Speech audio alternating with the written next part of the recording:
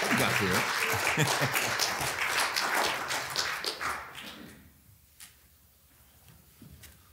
All right, good special. Miss Jennifer always gets it right before too long. That's not pointing out that I'm just saying you, you always get it right once you get going. I, have never heard you hammer down though, like a few weeks ago. Um, Still the blood. Crush that thing, man. You should listen to that before you go door knocking. It'll help you. Apparently, you guys not been listening to it because you're not door knocking. um, Habakkuk cried out to the Lord and said, O Lord, I've heard thy speech and was afraid. And he prays, Revive thy work in the midst of the years, in the midst of the years, make known, in wrath remember mercy. Now, I don't want to take this text out of context. It's really to the nation of Judah. Um, it's not a cry from a church that's doing the right thing, revive us again. Though it can be a cry or a plea or one of those unspoken requests that you say to God, you don't know if God's going to do it, you kind of wonder what revival is.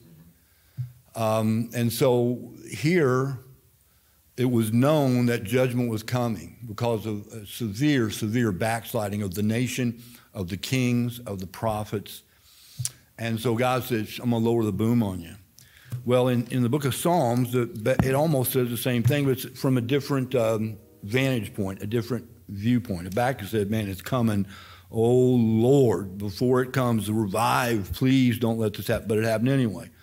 Uh, the Assyrians came, Sennacherib, um, uh, Nebuchadnezzar with the Babylonians. And so here, though, the psalmist says, the psalm of David, he says, Wilt thou not revive us again?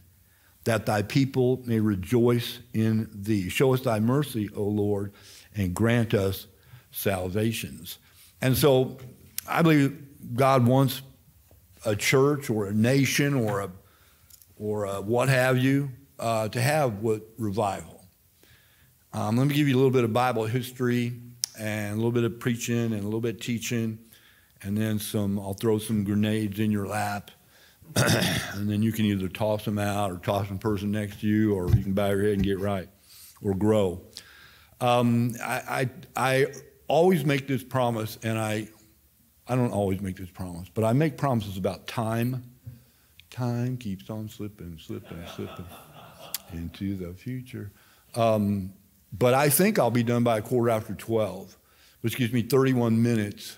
Um, so I want to say this if you can listen to me for 31 minutes, I can stand looking at your faces for 31 minutes.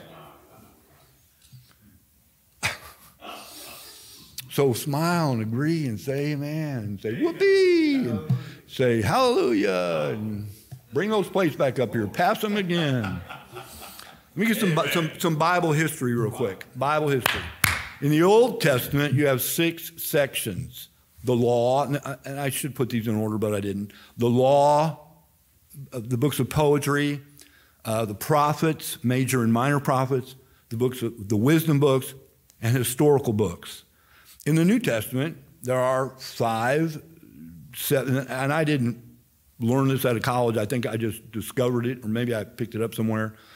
But in the New Testament, you have the Gospels, then you have historical book, which would be the book of Acts, then you have the epistles, uh, Romans, Corinthians, etc. And then you have pastoral letters, Timothy and Titus, a personal letter, Philemon, and then prophecy, the book of John. So you find 989 in the Old, 260 in the New. What was what's this book all about right here? That book I just described in a, in a moment or two. This book right here, 1189 chapters, uh, 929, 260. Um, uh, you got uh, uh, your different sections. This book is, what is that book right there? That book is the story of God's interaction with mankind. It tells in the beginning of God's uh, highest uh, creation. Uh, that was man. God formed man out of the, the, dust, the clay of the earth. The Bible says he breathed into him and he became a, a living soul. Uh, I don't think breath made him alive only. He had to have some blood in there. So Adam was uh, created by God with uh, no sin in his blood, and he had the breath of God. The, he had strength. That was God's highest creation.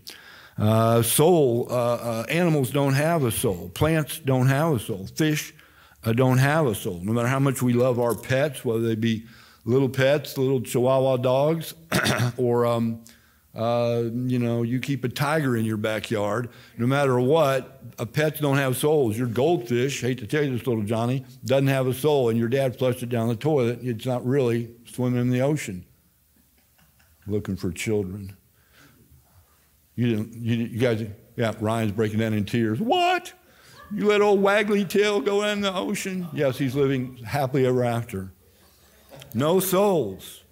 See, that means if that's true, that if God's interaction with mankind, and it is, and his highest creation is man and his interaction with man, and it's true, um, since God created man, that means uh, Charles Darwin's theory of evolution is just that it's a theory. It's unfortunate that evolution caught on, and it's uh, you can't even say, well, it's in the public schools. Please, it's been in the public schools for years and years and years. When you teach children that um, God didn't create them, that they come from animals, then why are we surprised when they act like animals? Why are we surprised when, and by the way, the changes that have happened in America over the years are just unbelievable. We should pray, Lord, revive thy work in the midst of the years. In wrath, remember mercy. Because this nation, I love my nation. I love the United States of America. I think you do too. I believe in saluting the flag. I was in the military. I'm, you know, I'm pro uh, defense, uh, whatnot. But our leadership is, is, it's always been that way. Now let's get crack on Democrats and Biden. No, you can. I, I can't even get started. And I don't even watch news anymore. I already know enough. It's just old stuff. Old. They just churn out old stuff. The people that were murdered in Idaho, man, I, I, my heart breaks for them. I can't imagine it. But it was a month ago. So stop telling me about it. Give me something new. Tell me something different. Tell me something I can sink my teeth into. Well, my part of my teeth. and so it's the same old stuff. So all governments fail. All governments fail. The Bible says when the Lord comes back, the government will be on his shoulder. That means he takes care of business. But up until the end, governments fail. So we're headed in that direction, and it's no, it's no wonder. Now, the first man, what was his name? Adam. And he had a wife, Eve. And they were, they were um, uh, in the garden. And it tells of the fall of the serpent that uh, beguiled um, Eve, and then Adam ate, and sin came.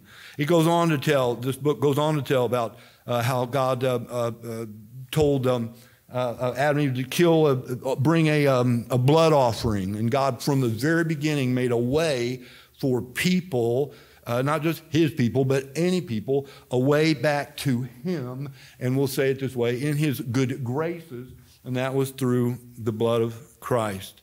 And they knew it back then, and we know it now. If you go to church and your faith, you know, you believe the Word of God, then you know Jesus died on a cross for our sins, and it's the blood which cleanses us, wipes away all sin. Then God tells about Noah, how he saved the world. Uh, eight souls uh, Noah, his wife, three boys, and their three wives were saved through the ark. Then he goes on to tell us many, many things. But then about Israel and the promises to Abraham, and told him to be the father of a, a great nation. And uh, this promise to Abraham was because of obedience. The blessings on Abraham were because of his obedience. Uh, sometimes delayed obedience, but delayed obedience, delayed obedience is no obedience at all. Yeah, well, I'd rather the kid take the trash out 15 minutes after he said he would than um, say, well, no, if you're not going to do it right now, don't do it. So delayed, don't, don't, don't bite on that. Uh, uh, used to have some candy uh, Brother Eddie got it. And it, it, it, it, was real sweet and covered in, you know, sugar. It tasted good. But then when you got into it a little bit, it tasted like rotten fish. Now, I don't know because I don't know what rotten fish tastes like, but I know what it smelled like, and it's like foul, and you'd get this candy, and you wouldn't really realize it was a great joke. we worked that thing for a long time, didn't we? We passed out a lot of candy those days. Oh, would you like some candy? About 20 minutes, about two minutes later out in the parking lot, they're spitting it out. Yuck. But these, these, these blessings, so delayed obedience. So pro, the promise to Abraham was because of obedience. The blessings because of obedience. The prosperity that Abraham enjoyed because of obedience. Moses uh, did great things through obedience. Joshua, obedience. David, obedience. All these great heroes of the faith. And if you want to know all about them, read uh, Hebrews chapter 11. Read Hebrews chapter 11. I'll tell you about. So that's a little bit about Bible history. Now let me give you a little bit about American history. Here's American history. I'm going to jump right into it. George Washington on New Year's uh, morning, 1777, he had 3,000 soldiers. Before that, he'd had 20,000 soldiers in, in the year of 76, and they rallied to him. On December 25th and 26th, he decided they have to cross the Delaware and march nine miles through the snow and bitter, bitter weather to attack 300, to attack 1,500 Hessians. Now, what was a Hessian? It was like a mercenary, a soldier for hire. They were from Germany. Uh, back then, it wasn't called Germany, so um, uh, uh, they weren't called Germans, but they were called Hessians, and they were mercenaries. So here come 300 of George Washington's against 1,500. That's one to five, one for the good guys, five for the bad guys. And they march the nine miles in the bitter snow, and they have no, they take the town, they take the armory, they defeat, no killed, no KIA, and only two wounded. So he went back, camped on the other side of the Delaware, and George uh, uh, General Cornwallis came with 5,500 men. And he came and, and here, now listen now, here Washington, he, he only had 3,000. He defeats 15,000. He gets everything he can, all the cannons, all the, all the food stuff, all the clothing, everything he could get, and, and, and called the booty of war. He takes everything, the spoils of war. He goes back, he crosses back over the Delaware, and General Cornwallis, who should have been there, um, uh, the English general should have been there on Christmas morning. Instead, they were all partying, drinking wine. Back in the day, it's a good way to party, but don't party at all. But uh, back back in the anybody catch that? Uh, back in the day, I'm trying to get my old you know routine back. Uh, back in the day, they didn't they didn't have war at night. They didn't have they didn't have war in, in wintertime. So everybody's all camped out, safe and sound. But George Washington said, man, and he's praying in the snow, saying, God help us, God help this nation. God, he would have been hung for treason. It would have been bad news if the Continental Army didn't win. And after he, he uh, takes the bit in his teeth and he, with 3,000, marches against 15,000 and takes it, then G- George Cor- Cornwallis, General Cornwallis, who was supposed to be there, he shows up late with 5,500 men and he comes down the Delaware, you know, he's followed where he went, comes down there, and he looks across uh, the Delaware's quite large, runs through Philadelphia. It's a huge, huge, wide river. And he looks across and he sees all these campfires burning. Campfires burning. And he says, Man, Washington, he just went the other side of the river and parked it. He's camped out there. He, he took the town of Trenton, he took all, all, this, uh, all the stores, he took all the ammunition. Um, they used to have projectiles, grenades back then, rocket flares and stuff. They had things that associated with gunpowder, and, and they could do those things. So took all took everything he could carry, all the plunder, and he's on the other side. But Washington knew the surprise attack worked, but he's not ready with three to face 55. He's just not ready. So he sets all these fires, and then he books. He leaves some guys behind, 15, 20 guys, to tend the fires big wood burning all night. And Cornwallis on this side, uh, you know, we don't have to get after him now. He's, going he's obviously staying there all night. But Washington took his army and left. So here this guy's looking across the river. Oh, I see the fires. I can wait. But Washington was gone. And by the time Cornwallis got across the river, uh, Washington was 40 miles away into the interior of Pennsylvania. So, so uh, American history was encapsulated in that one night when George Washington changed it uh, uh, uh, from what it was and won back the, the um, uh, momentum of the war. There's a later fight where George Washington is in the, the, the Continental Army, they're, they're running not pell mell retreat, but they're backing off thinking they're overwhelmed. And here Washington's watching from a hill in the spyglass and he sees what's happening. So he rides his, uh, his uh, big white charger, his horse, and he, run, he rides out there. He has uh, bullets flying everywhere, run, going through his coat, going through his pants, knocking his hat off. And he's got a saber flashing, and he's flashing and slashing, and he's crying for his men Follow me, man. Follow me, men. Follow me. Rally to me. and the Continental Army did rally to Washington, and they won the day. After that, enlistments swelled. His legend of Washington was established, and from that day on, the Continental Army with George Washington was a force to be feared. Now, when we think of what, by the way, we covered all New Jersey. We captured the cannons and, and, the, and the horses, etc. Now, how'd they do that? Here's how they did it they had a winning spirit, they had a winning attitude. They had an attitude that said, I can do it. My kids were growing up. We have some mottos. I don't know if they're in front of this Bible, but one of them was, I can make a great man. Now, I heard that somewhere. I think Henry Ford said it. My kids said it every night. I, now, this is not a crack on you, most of you. Don't. I don't know what your kids are saying every night, but you ought to sit them down after dinner time. They ought to sit around and get your Bible out and tell them stories from the Bible, and uh, you ought to memorize some scriptures, and you ought to teach them. This book of the law shall not depart out of thy mouth. You should teach them uh, uh, um, how shall a young man cleanse his way, or a young woman, by taking heed thereto, according to this word. And I'm going to tell you, I raised six, and it was the hardest thing I ever did in my life. Now, I don't even know how they're all going to turn out. There's one of them sitting right there. And uh, I don't know where the rest of them are. Here, there's one right there. They're still, they're in their 30s. Man, I don't know what's going to happen. Are they going to make it into their 60s? Will they, will they continue to uh, prosper? John, uh, 3 John verse 2 says, um, I want your, uh, your uh, soul to prosper even as your, um, basically says your life, uh, not just your life and your children and your finances and your road, uh, uh, wardrobe and your resume, but I want your soul to prosper. I want Jake's soul to prosper. I want Teresa and Benjamin and, and Jamal and Jessica and Sarah no matter what happens, and I'm tell you, in our family, I don't care if the preacher family or not, bad things happen. Bumpy roads come. Uh, ditches uh, uh, jump out of nowhere. Deer appear, and you run into it, and you wreck your car, you turn it over. Uh, somebody gets hurt, and you get a call at 2 o'clock in the morning, or so the, the sheriff knocks on your door, and you, of course, I'm like hiding and saying, Tell them I'm not here. Tell them I'm not here.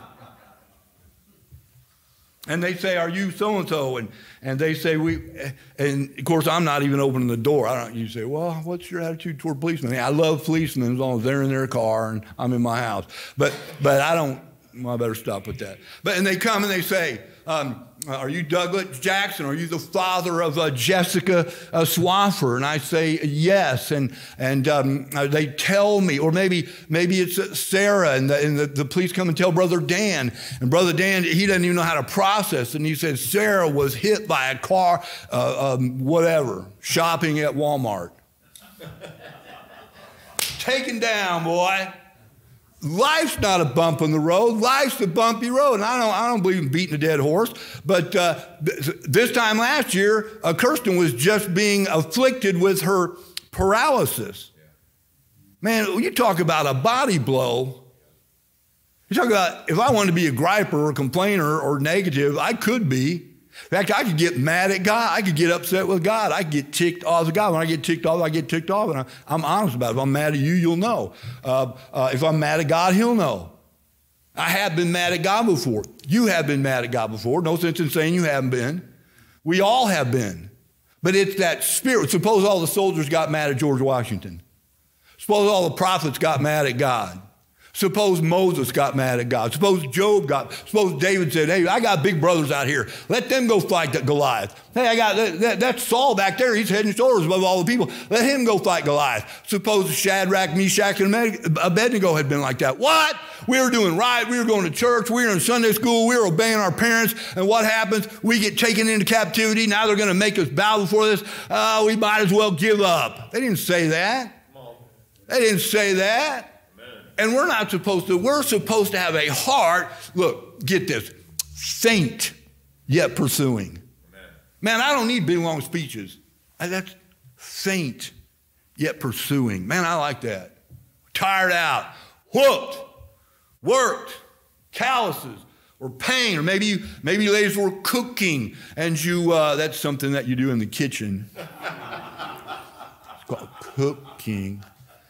You got to have pots and pans. And you're cooking and maybe some grease splatters that you're cooking for your big lazy husband. And something uh, splat, splat your ungrateful family. And something pops out and, and pop maybe some eggs or something. And it, it, it, and it splatters on your hands. And maybe it burns more than you think it.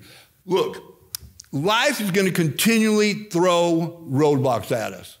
I, I hate to tell you, I'm 64 and life has not gotten easier for me inside. Man, when I used to be the pastor here, buddy, I was hammered down. I got up in the morning, 6 a.m., every day of the world. Uh, that's if I could sleep. I had a to-do list, read my Bible, prayed, I'm on it. Whatever it was, I did. I, I did a lot of things back then. A lot of work, took care of a lot of things. Well, now that I'm older, I don't have that same schedule. So since the schedule's not pushing me, what has to push me? Who, get, who has to push me? Right, Drew? I got to push me. And I, I, hate pushing me. Remember how we're learning in, in midweek about the mind, controlling the body? My mind, a lot of times, says you're hurt, you're in pain. Um, and that, it's true sometimes. But anybody here that's an adult has pain. You know, there's a reason that people, older people, let me find this, turn it on. It's going to work for me. Hold it down. Hold it down. There's, there's a reason, and I've used this illustration before, there's a reason older people walk like this. Or like this. Or, or, or if they can walk at all. Or like this, like this. We talked to a guy yesterday, I can't do it. Brother Joe could do it. He had a hip replaced. He kind of rolled when he walked. Guy kind of rolled when he walked. We were, in fact, Kevin, we were at back in the break room getting some, some tea. Guy came in, huge dude, huge. I mean, looked like Arnold Schwarzenegger with clothes on. I mean, you know, I don't know what Arnold looked like without his clothes on. Okay, he's a big. Do you know who Arnold Schwarzenegger is? Bodybuilder. Okay, bodybuilder. Yeah, this guy was huge, and I he was in the room for a few seconds, and Jake and I were talking. Somebody left, and I walked over to him. Stand up, Luke. And I walked over to him. I said, "Man," I said, "I hate guys like you." Did I or did I not? This guy could have rolled me up into a ball and punted me back from where we were in Michigan. You can sit down now. We'll say, what's that all about? Here's this guy, great big bodybuilder, uh, references these um, well known uh, uh, weightlifters, and he walks like this kind of rolled when he walked. You know what I'm talking? Kind of rolled when he walked. All that guy's working out, probably thousands of hours of lifting. It didn't prevent his body from breaking down. When you get old, he's 64 years old, same as I. he looked older than I did, though. The body breaks down. Amen, Brother Stoltz? Body breaks down. Amen, Miss Jennifer? Body breaks down. Hey, amen, Tom? I, every one of you out here, we can call names. Miss Eve, Brother Joe, Miss Jackson's home today, sick, doesn't feel good, has to stay home, doesn't want to, but whoops, doesn't want to, but has to. Now, the history of our Bible synopsis, the history of United States synopsis, and the synopsis is, is what captured, what kept those men and women of the Old Testament going? What kept the disciples of Christ and the people that heard the gospel and the people that followed Jesus? What kept them going in the face of adversity, in the face of enemies, in the face of um, just uh, life's uh, burdens and life's hurdles? Here's what it was they had a winning spirit, they had a winning attitude. George Washington said the, the password is this victory or death. Victory or death. Now, I like that stuff. Victory or death. And all, every one of those Continental 3,000 soldiers knew that was it. We're either marching to victory or we're marching to death. And in our church, we should feel like, oh Lord, revive this work in the midst of the earth. We should pray, oh Lord, revive me in the midst of my years. Cause me to have more uh, internal fire. Cause me to to shed more tears. Cause my heart to soften. To, I was going to pray for Brother Bachman this morning in my prayer time, and the Holy Spirit, I don't know it's Holy Spirit, but I'm like, oh, it's like, why pray for Brother Bachman? He's got about 14 billion people praying for him. Think, Doug, who needs prayer the most? I'm like, I reckon people don't get prayed for much. And two or three names came to my mind right away. Is that amazing? But you got to go to a prayer closet, you got to talk to God. You want your heart stay. David said, while I was musing, the fire burned. While I was thinking about God's power, the fire burned. You know, when David was with Goliath and David beat Goliath, why? His spirit. When Elijah was on Mount Carmel with Ahab and Jezebel and called down fire, how to do that? His spirit. In fact, when Elisha's, uh, uh, Elijah was going to be taken to heaven, Elisha would not leave Elijah's side as he prepared to go. And he said to Elisha, Ask what you want from me. And Eli- Elisha said, A double portion. And Elijah said, You've asked a hard thing. Nevertheless, if you see me when I go up, you're going to get a double portion. And the Bible is clear about it that Elijah had eight known miracles, and Elisha, his protege, had 16 known miracles. God gave a promise, and God kept the promise. It took years to, for it to go. I mean, when he, Elisha got that promise, he just starting out. He just getting going. Elijah was the man. He thought, you know, he carried Elijah's uh, water bucket. He took care of Elijah, you know, washed the laundry and made the fire and cooked the food. He took care of the man of God. When God said, I'm going to take uh, uh, Elijah to heaven, Elijah, God told Elijah, Elijah told Elijah, Elisha hey, I'm going up. Ask what you will. And I don't know how long he thought about it. I don't know if he meditated on it, but he said, he said, um, I want a double portion. He said, I like what I see out of you, Elisha, and I want some more of it. He said, Hey, Lord, revive thy work in the midst of the years. Revive me. That ought to be the prayer of every person here. Not revive our nation. Now, that's 350 million people. You going to pray for them? Revive our, revive our uh, city. Revive our church. That's a good one. How about revive our marriage? So we've only been married two years. Well, probably about time for revi- revival. Kids steal the joy, boy. Kids just suck all the life out of you. My advice is wait to get married till you're about late 30s and marry a good breadwinner if you're a girl. Uh, if you're a guy, marry a woman that can cook and, and pucker. And, and um, uh, uh, don't have any children. Say, well, what will happen to the world? It'd probably be a quieter place.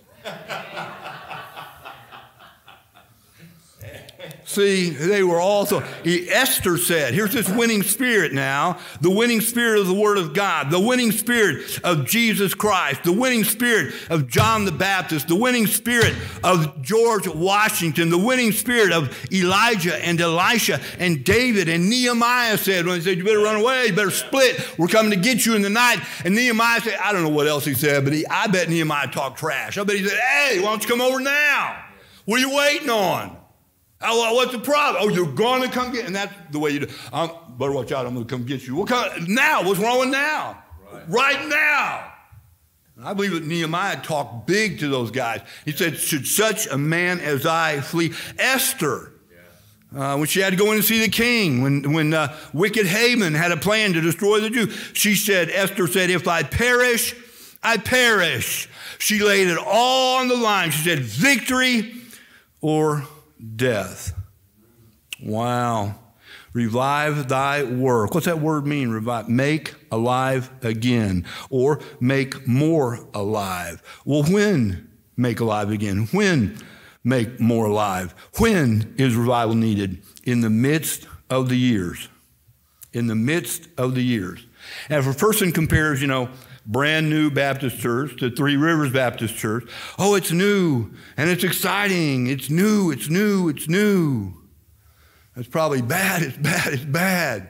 I want the old, the old, the old. I want the old hymns and the old fellowship and the old propriety and the old manners and the old respect for elders and the old attention to preaching and the old. That's what I want. I want the old. I'm not looking for the new, baby. I want the old. I want people uh, uh, uh like Jennifer when she comes back. I want somebody to ask her about it. She's going to say, "Man, I went to that church for a long, long time and I was away for a long time. And when I went back, it was the same old stuff."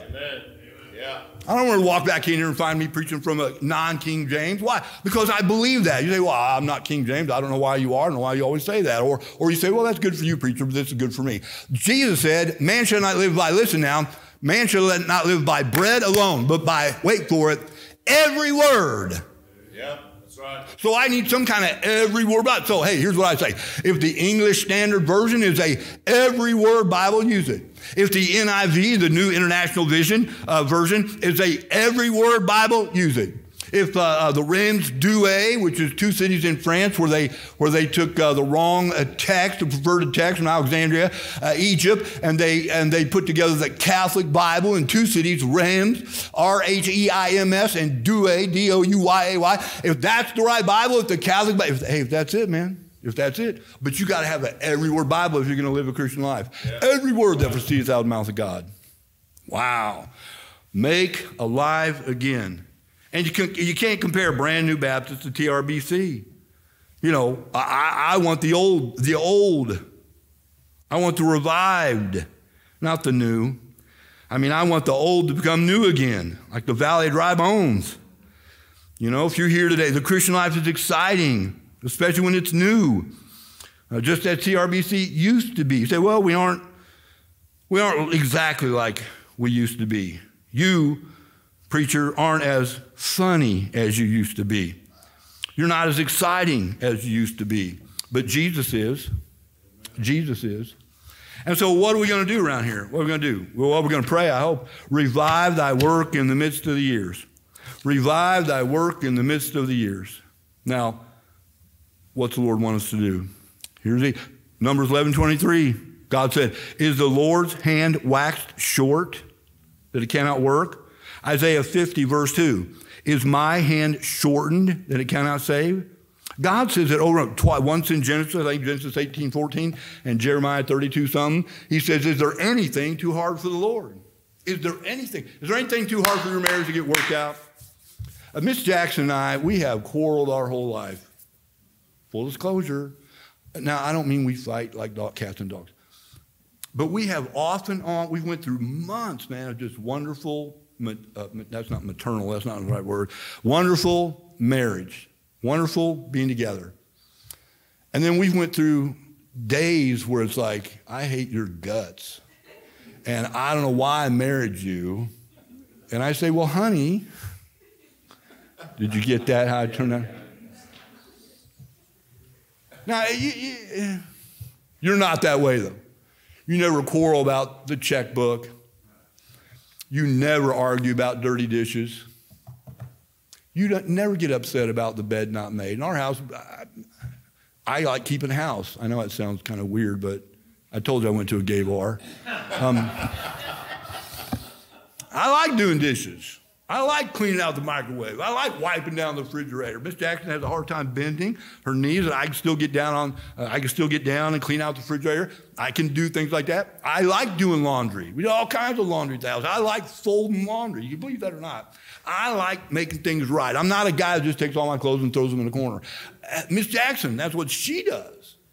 And yet, still, and this is the truth. I'm not a clean freak, but I am sort of like put everything away, put it in the same place all the time, never move it around when you need it. And Miss Jackson's a little more runs it. I tell her, put the keys in the same place, put the keys in the same place. She runs it, I'm late, I'm late, where are my keys? She's running around, looks in the pocket of her coat, knocks over the coat rack. They're not there. Looks here, they're not there. Looks over here, they're not there. Finally, she finds them, locates them. Where were you supposed to put them? And she knows. She knows. Now, I could have ragged her. I, should, I could have got on her but we, we sort of, in the last several years, I'm saying we quarrel now all the time, it's called no nibble, no quibble.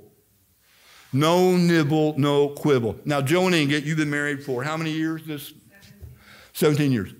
And you guys have got along 16 years. And you guys have gotten along fabulously the whole time, right? Liars. but but but Joe, you know her weaknesses. Inga, you know his weaknesses. I know it's like a big old book full, but you know Joe's weaknesses. And Drew and Alicia are the same. And Joe and, uh, what's your name again? I'm teasing you. I used to mess with her all the time about her last name. Joe and Renee. Every married couple here, you know your spouse's weaknesses. And you know how to like just barely put the needle in. If you don't, you're not enjoying your marriage life like you should. Barely put it, and then pull it out. Say, honey, I didn't mean anything. I didn't mean to offend you. Sometimes I tease my wife. I say the craziest stuff. I mean, I say stuff that's like crazy. And she believes me sometimes. It's like, honey, obviously we're not going to leave the refrigerator door open all night because we're not going to do that. Well, you said you were going to do that. Honey, we're not going to sell your car tomorrow at a wholesale lot. Well, you, you said you would. You put so much gas in it all the time, I'm always paying for it. And she knows my weaknesses. And there's only one or two. But we know each other. We know each other well. So we have to learn to work together. Get that? Number one, what's your job in the church? What does the Lord want you to do? Number one, uh, no, no. I'm not going to tell you what the Lord wants you to do. I'm going to give you five things and then we're done. Number one, it's going to take work. If we're going to take this verse right here, as David prayed, and say, Wilt thou not revive us again? Will that, by the way, I'll, I'll just take a moment for this. Have we ever been revived? Has this church ever been packed out? Has there been people, basically, as we say, swinging from the chandeliers? I mean, think of the music program we've had and the soul winning program, the outreach programs we've had, and our graduations and our funerals and our weddings and our vacation Bible schools. Man, we worked this building hard, haven't we? You know what this building is? This old pickup truck, baby. I, I, mean, I like to keep the dents, you know, I like to keep a little wash on it, keep the rim a little bit clean. But as long as it gets in and starts and goes, this big old building right here is just an old pickup truck that we've been using it for 20 some years, winning people to Christ, bringing people to church, baptizing, preaching the gospel, standing for what's right. And I want God to revive us again. Amen. And you do too. Yeah. You do too. So we pray, Lord, revive us again, that we may rejoice in thee. Habakkuk, minor prophet, said, Lord, wilt thou not revive thy work in the midst of the year? So number one, it's going to take work. You say, well, we only have a few. We once had so many. Oh, you mean only a few like Gideon? Only a few like Jesus started out with 12, and now it's here, it's Christianity? A few can make a difference if a few are bound together. Going to take work. It's going to take, get ready for the ouch. It's going to take money. It's going to take prayer. It's going to take, it's going to require us keeping an eye out for the devil. And it's going to require us all to get along. Satan loves disunity. God loves harmony. God wants harmony in your heart for you. God wants harmony in your marriage for you. God wants peace in the decisions you have to make, tough decisions as an adult. God wants you to have that, that feeling of, of what the, what the soldiers had, the Continental Army, as they marched and trudged and marched and trudged, and some froze to death on the, some had no shoes. Nine miles from where they crossed and they got a late start and one general ran up and said, "Oh, it was a raining night, icy, sleet night." Said, um, um, "The men's gunpowder's wet." And, and try, I guess, I don't know what he's trying to do, avoid the situation. His named General Sullivan. And Washington said, then tell the men to use the bayonets. He wouldn't be dissuaded. He wouldn't be turned back. He said, Bless God, we're marching. And Washington, being a Christian, believed in the great I am, believed in the providence of God. And they marched and they took and they captured and they fought and they outsmarted that sly old fox they call Cornwallis, the sly fox of Britain. Yet it turned out he got hoodwinked by George Washington, setting the fires and splitting, exit stage left, as they used to say. Uh, remember the cartoons when they said that? Who said that? Snagglepuss? The leopard? Why, man, you call me Snagglepuss? I'm so embarrassed. Exit, stage left.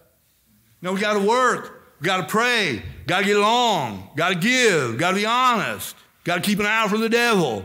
And I believe if we do those things to the best of our personal ability, fall, get back up, fall, get back up, I believe God can bless this church like He did once again. Maybe not with the numbers, but I don't know, maybe more, but definitely with the Spirit. Would you bow your head and close your eyes, Miss Jennifer? You come. Heads are bowed and eyes are closed. I want you to think about the message now. Pick something out. Pick anything out. And say, okay, I think that's what I'll concentrate on. Because if you don't, you're going to be thinking about something else. And you want your mind to be capture every thought, bring it into the obedience of Christ. What's the Lord saying to you right now? Of course, you want Him to revive the church. But we all have to work together. We all have to uh, gung ho. I think that's a Chinese. It means all we all work together. We have to give. We have to, um, uh, we have to pray. We have to get along. And God wants revival for you today. Maybe a family needs revival. Maybe a marriage needs revival. Maybe a ministry. Maybe a business. But God said, uh, David said, Revive us, Lord, revive us, that we might praise thee. So we want this morning for God to revive us in any way, in any area, that we might praise him. Now, just a minute. Miss Jennifer's going to start to play on the very first note. I want you to stand up. I know you can hear me. Now, if you can't stand, I see Brother Kevin laboring up here, knees. If you can't stand, God understands. If you can't stand, it's easier to the altar if you stand and walk down here. And I'll say this. You say, Preacher, I, it's hard for me to stand. I want to pray in my pew. Why don't you do this for the Lord then? Why don't you stand up when I say, when Miss Jennifer begins to play, let's all stand up. And if you're going to pray where you sit, then you sit right back down. If it's a struggle to stand up, and I know it is for some of you, God knows your heart. You're not, you don't have to do it for, for the preacher. Do it for him. I want you to pray. What is it? Your home, your child rearing, your marriage, your finances, your relationships. We sure want the Lord to revive this church. And I want the Lord to revive me, and I want him to revive you. And I hope you'll come. Miss Jennifer, you play. We're all standing. Miss Jennifer's playing just as I am. You come today. I, there's got to be something in there. There's got to be some prayer that caught your attention, some subject or topic or emotion, some voice from the Holy Spirit. Teenagers coming, and take your time. Man, we no hurry. I've been to churches where they play 30 verses. 30 verses. That's good, young lady. That's good. That's good.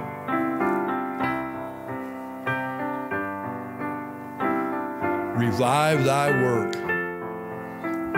In the midst of years, boy, that's me. I'm definitely in the tail end, I think. I'm in the midst of you, like the Pips like the Van Zulens, like the Goebels, like Brother Wayne. We're all in the midst of years. And I pray the Lord will revive me.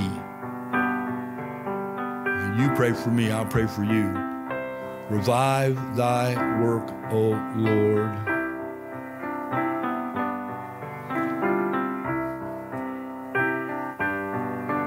Think about when your best Christian days were. Think about when you were first married, first dating. Think about when you brought the little one home from the hospital. Think about your feelings when you were born again and you were baptized and you, you begin to grow. Oh Lord, you pray, Lord, revive your work in me. Lord, revive the, the desire to be a parent, the love I had for my children, the attention I gave my spouse.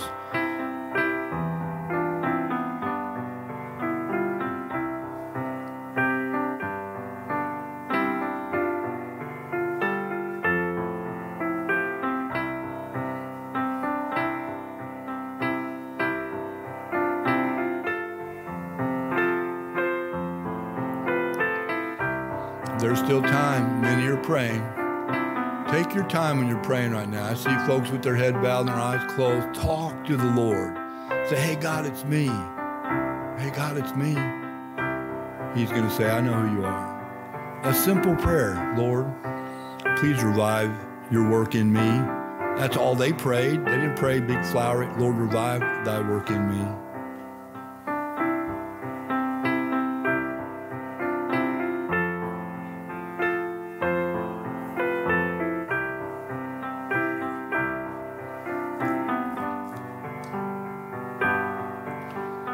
Father, thank you for the truth of the Bible. Thank you for uh, the people's attention. Thank you for um, bringing some more humility, humbling me, having me preach without these, these teeth here. Um, difficult, Lord, but thank you for the opportunity. I pray you bless each one that came. You know their hearts, you know their souls, you know their burdens, you know their, their um, um, breaking point.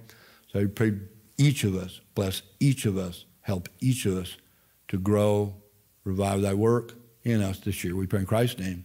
Amen. Luke, tap Caden on the shoulder. Brother Kevin, you come. Let's sing. We'll never say goodbye in glory